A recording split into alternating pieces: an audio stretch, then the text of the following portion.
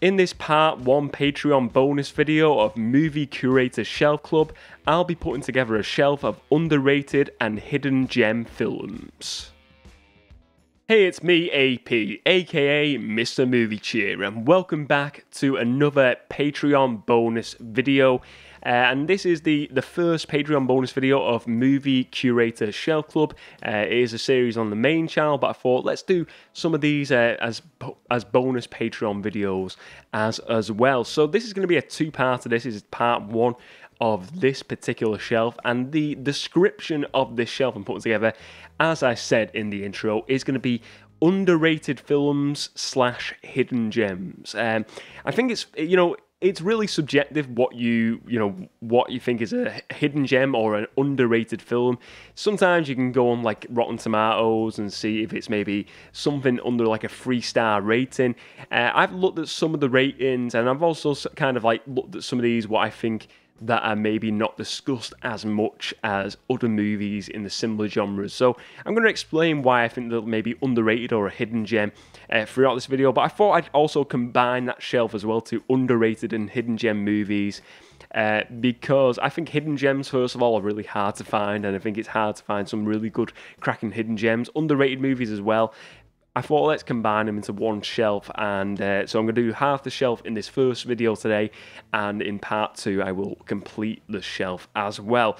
But let's uh, let's get to it. Let's start off with the shelf and let's have a look at the movies that are going to go on the shelf. So the first movie I'm going to start off with is The League of Extraordinary Gentlemen uh, starring Sean Connery, the late great Sean Connery. This was his last acting performance. Uh, he did retire then. He retired and then just enjoyed retirement for many years before he passed away. I think it was like this year, 2022, or last year, 2021. Um, but this is an adaptation. It is a, like a graphic novel series. It kind of really, you know, you've got like the Invisible Man, you've got Connery as the leader of this group of like vigilantes uh, going on a task to take on this evil force, and you've got the Invisible Man, Jekyll and Hyde in there, and a few other characters like vampires. I think I, I think there might be.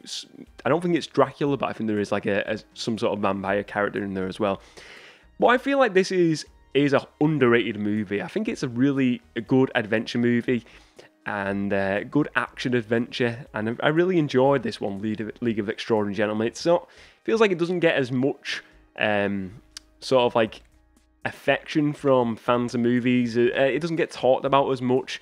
I really like it. I think it's a fun action adventure movie, and I just I just like it. It's just like it feels like his his character. Well, it feels like more Indiana. You know, he's like playing like this this aged Indiana Jones like character and you know it's obviously with the link up of him playing Indy's father in, in the Last Crusade. It feels like it like it's some sort of like a spiritual successor in a way.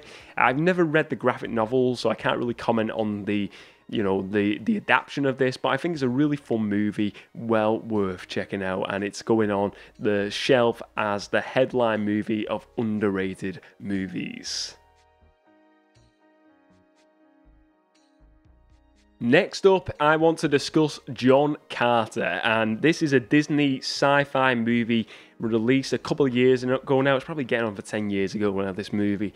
Basically, John Carter is a book series, and this at the time, look at it on it Star Wars for a new generation. They were kind of like bigging this up to be the next big Star Wars thing before Disney actually purchased Star Wars, or uh, maybe it was around the same time.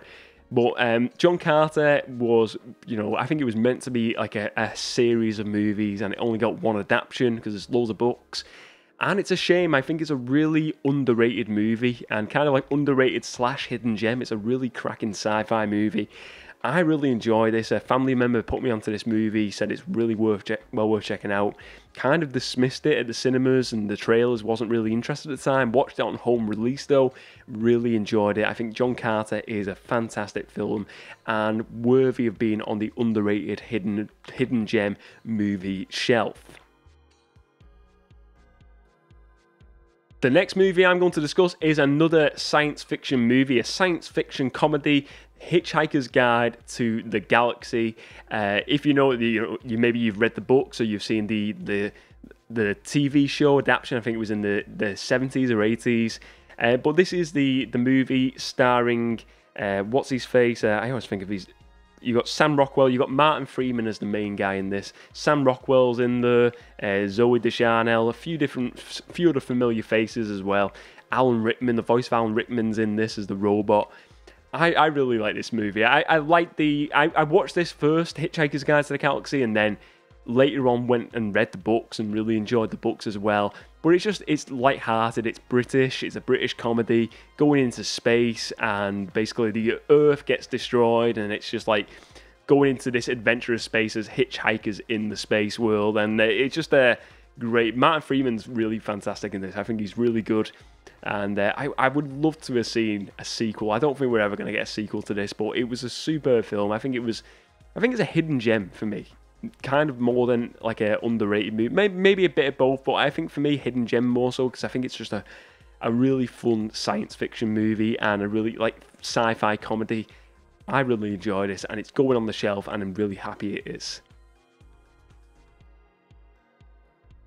The next movie to enter the shelf is Tom Cruise and Morgan Freeman in Oblivion. Uh, Oblivion is a, such a good sci-fi movie. I, I, think first of all, what hits me the most is the visuals of this movie. Basically, it's it's sort of it's set in like a future world, and there's a lot of mystery going on. I don't want to really spoil the plot of this, but there's a lot of mystery going on in this world. And Tom Cruise works as this engineer type character, and basically Morgan Freeman is is on Earth, and he's like the kind of like the antagonist of the story uh, for what it seems on the sto- on the surface of things, really. Uh, but there is more to do to do this story, a bit of mystery to this story, and I think, like I said, the visuals. I think the the score in this by M83 is is phenomenal. Really great score, really good sci-fi movie, and I feel like it's an underrated movie. This one, I think it doesn't get as much appreciation as other sci-fi movies and also as other Tom Cruise movies. I think this comes in an era when you had, you know, Tom Cruise doing a lot of sci-fi, like even like the the Live Die Repeat one, uh, Edge of Tomorrow, and that was kind of another one. What's kind of a bit for me underrated, but I think this is more so. I don't feel like it, it gets enough talked. Like this movie is not talked about as much, and I really enjoy Oblivion. I think it's a really cracking movie, really worth watching and it's going to enter the shelf and it deserves to be on the shelf of underrated and hidden gem movies. Next up, I am going to discuss The Butterfly Effect, starring Ashton Kutcher and Amy Smart. Really one of my favourite sci fi movies of like the last 20 years or so. It's it's a, a great movie, this Butterfly Effect. Basically, the, the premise of the story the kid has like these blackouts throughout his life, Ashton Kutcher's character. And he starts writing these notebooks when he's younger. And then when he gets older, he goes and reads these books, and he can, once he starts reading about his blackouts, he goes back into the time zone of when he was having that blackout, and he, he can he goes into where he was blacked out, and then he he has he can he can like change the world, and basically he changes reality, and he can change time then, and he goes into this, and then you see different ch- like changes in the timeline happen because of what he you know he changes events in in history and it's a really good movie. I actually remember seeing the sequel. The sequel's not actually that bad as well, but it's nowhere near as good as the original. And I think it's a for me, I think eh, on Rotten Tomatoes it had like a, a three or four star rating, so it has a decent rating. But for me, it's a movie that is maybe not talked about as much, and maybe it's because Ashton Kutcher is not really thought of as this science fiction actor. He's maybe thought of as more, you know, comedies in like the '70s show, and he was in Two and a Half Men and stuff, and maybe he's not really thought as as a, as a legit movie star. But I think in this one, he really he is a good like actor. I like him. I, I think he was good in the um, the Apple when he played um, the head of Apple, Steve Jobs. I really like that, that movie as well. The Steve Jobs adaptation he did the biopic. But Butterfly Effect is is a really fun movie for me as a sci-fi fan. I like it, and I'm glad it's going on the shelf of underrated films. Next to go on the shelf is one of my absolute favourite movies of all time, a cult classic, but also I think still to this day is kind of un- underrated, even though it's classed as this cult classic now. Um, I, I, feel like in, in certain sectors this one is laughed at, but Masters of the Universe, starring Dolph Lundgren, Frank Langella, it's for me, it's it's not again kind of like Butterfly Effect. It's got this cult level, but it doesn't feel like it it's it gets the appreciate. It feels like people, some people say, yo, it's a really good film that, and some people like go like, oh, this is super cheesy, and it is cheesy, but I think it's a really decent sci-fi movie at the same time. I think you like Star Wars, uh, you will like Masters of the Universe. I think Skeletor is is a excellent villain played by Frank Langella. I, I really like it. Dolph Lundgren is perfect as He-Man. I would have loved it to see sequels to this movie back in the day. Even now, a sequel would be cool to see, like a TV show adaptation. But I really like this film, and it's going on the shelf as an underrated movie on the shelf of this collection. The next movie I'm going to discuss is Mannequin, starring Kim Cattrall and Andrew McCarthy. This is again, I looked on like Rotten Tomatoes and it had like a it was below three on the rating, so it didn't have high ratings. Also, again, it doesn't feel like a movie that is like a like a beloved movie of the 80s. It's an 80s movie. Basically, the premise of the story is uh, Kim Cattrall's character is, you know, well, Andrew McCarthy's character works at this uh, this shop, and basically he falls in love with this mannequin. And Kim Cattrall's character is from like Egyptian times, and she turns into the mannequin at night, and then they fall in love. It's like a love story. And uh, then it's basically the story of her, you know, coming to life. Will she come to life? Will she not? And it's just a fun comedy movie great, some really good 80s, 80s music in this. And yeah, I, I think for me, like 80s movies, I think you get like Breakfast Club, your, your Dirty Dancings, your, your Flashdance, your Footloose, maybe not Fat Flashdance, Footloose. There's more like, there's a few more like your Uncle Bucks, uh, are more talked about in the 80s genre of movies. But this, for me, it's like a hidden gem more. It's more like a hidden gem movie, Mannequin, because it doesn't get discussed as much and I feel like Kim, I watched Kim Kim Cattrall in uh, Big Trouble and Little China the other week, and it made me think of this movie. I think, you know, I don't really ever hear it talked about on like any other movie review podcast or anything I watch. Um, no one ever mentions this. I never see it online. And it is a really decent movie, Mannequin, and uh, I, I, really like it. It's like I said, it's fun, it's cheesy, it's one for the whole family, and it's just it's a good movie. I think it, it deserves to be on this shelf as a hidden gem movie. So, the last movie I want to discuss for part one today of this shelf is Yogi Bear. This was a recent pickup for me. Uh, Yogi Bear, an adaptation of the obviously the, the Hanna Barbera cartoon. In this adaptation, you've got Dan Aykroyd voicing the, the doing the voice of Yogi Bear, and you have Justin Timberlake as the voice of Boo Boo.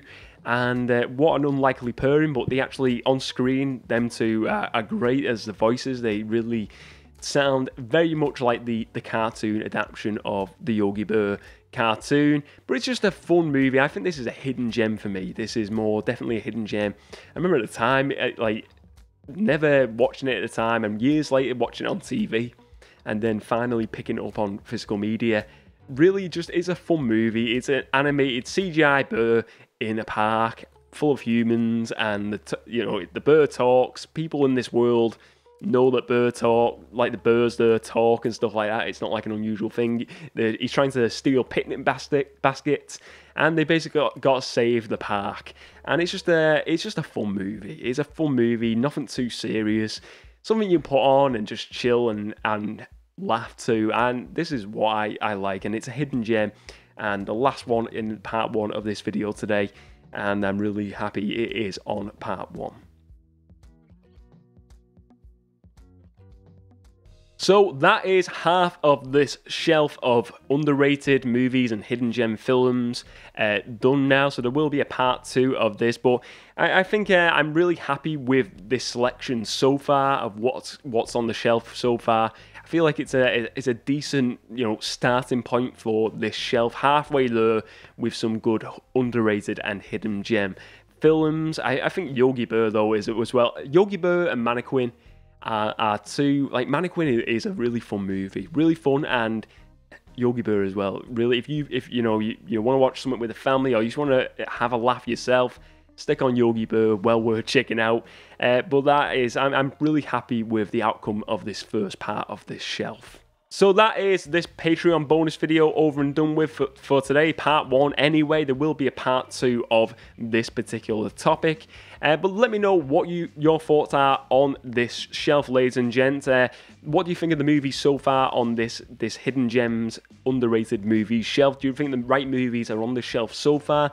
What would you put on the rest of this shelf? What would be your predictions? What would be a movie that you feel like should go on this shelf? Um, obviously, it's from the collection behind me, but let me know your thoughts. What would be on your underrated and hidden gem films shelf?